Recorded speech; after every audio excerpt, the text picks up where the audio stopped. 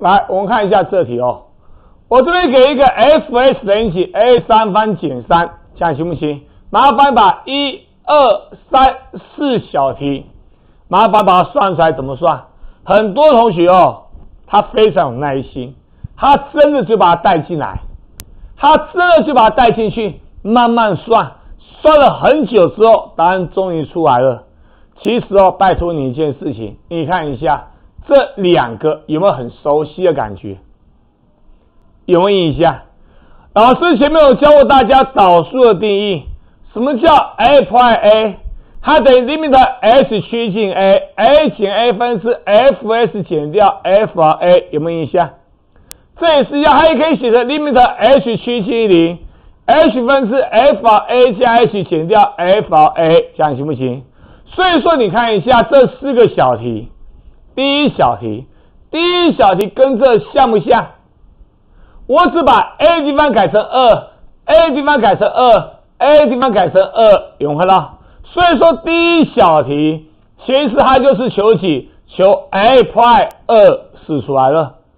所以说这时候我需要把 f(s) 带进去慢慢算吗？不用了，我直接把 a prime 二算出来是不是好了？怎么算？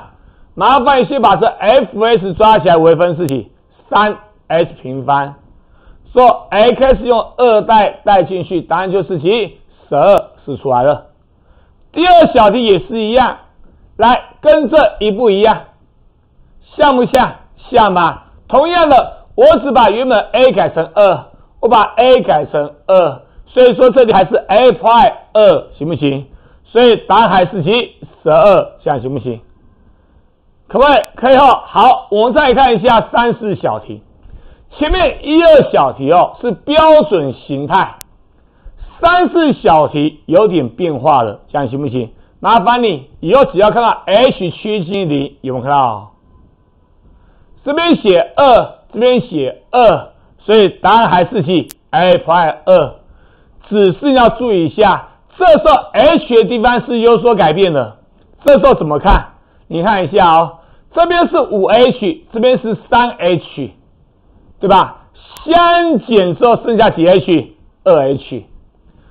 分母是几 h？一 h，对吧？哎，老师为什么可以这样算？还记得吗？导数的定义的地方，老师教过大家，什么叫微分？什么叫导数？它求切线斜率，它在算 x 轴和 y 轴的比例，对不对？对吧？所以它在算 x 轴和 y 轴比例嘛。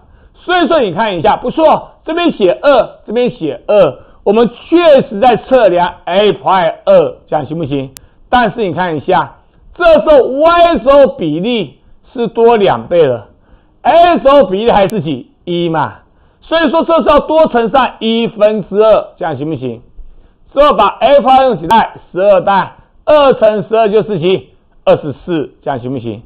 这也是一样，来这边写二。这边写二，基本上还是写 a 括二，但是你看一下，我在强调导数在干嘛？在算斜率嘛。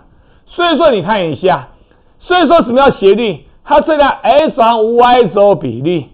对 y 轴而言，你看分子的地方，这二 h 减掉负 h，告诉我这边差几 h？差了三 h，对吧？分母地方是几？二 h，这样行不行？可不可以？可以哈。所以说把 a prime 二原本是几十二的，把它带进来，乘上二分之三，算出来答案就是几十八，就出来了。可不可以？可以哦。到这边麻烦你先把这里把它整理一下，等一下我再继续下去。OK。